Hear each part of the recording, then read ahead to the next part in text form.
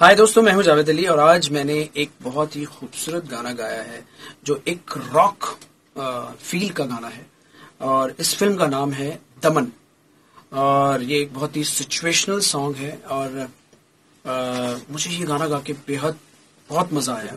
आ, एक different experience था और इट्स अ ब्यूटीफुल सॉन्ग आपको बहुत मज़ा आएगा बहुत एनर्जी है इस गाने के अंदर और फ़िल्म ऑलरेडी जिस फ़िल्म का नाम है दमन ये ऑलरेडी उड़िया में ब्लॉकबस्टर फ़िल्म हो गई है और इसका हिंदी वर्जन मैंने गाया है।